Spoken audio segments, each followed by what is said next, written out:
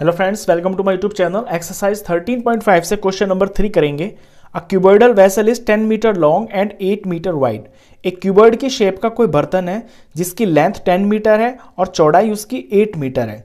How height must it be made to hold 380 cubic metres of our liquid तो इसकी height को कितना बनाया जाए? ताकि इसके अंदर 380 क्यूबिक मीटर्स लिक्विड आ जाए। तो क्वेश्चन के अंदर ये जो 380 मीटर क्यूबिक है ना, ये आपको वॉल्यूम दे रखा है। और फिगर दे ही रखी है कि क्यूबोइडल वेसल है। और लेंथ और ब्रेथ भी दे रखी है। सिंपली आपको हाइट निकालनी है। तो क्यूबोइडल वेसल का जो वॉल्यूम है, ये 380 मीटर क्यूब आपको दिया हुआ है। और किसी भी क्यूबॉइड का वॉल्यूम होता है length into breadth into height के बराबर। तो simply length into breadth into height बराबर 100 सॉरी 380 रख देंगे और यहाँ से हाइट की वैल्यू आ जाएगी।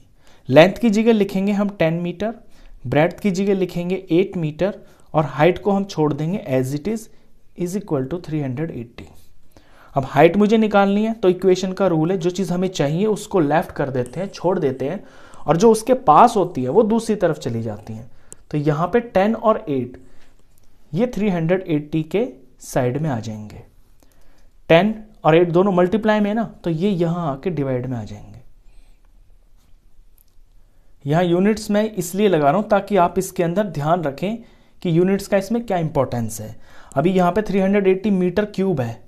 यहाँ पे मीटर क्यूब यानी कि तीन बार मीटर है। और ये दो चीज़ें जो नीचे आई हैं, इनमें मीटर लगा हुआ है। तो एक मीटर से एक मीटर कटेगा, एक मीटर से एक मीटर कटेगा। तो हाइट जो आएगी आपकी वो सिंपल मीटर में आएगी। अभी सॉल्व करते हैं इसको। ज़ीरो से ये ज़ीरो कट गया। थर्टी एट को एट से डिवाइड करते हैं तो ये वैल्यू आएगी फोर पॉइंट सेवन फाइव यही आपकी हाइट है। क्वेश्चन खत्म। तो में बस इतना ही। नेक्स्ट क्वेश्चन के लिए मिलते हैं फिर नेक्स्ट वीडियो में। तब तक के लिए गुड बाय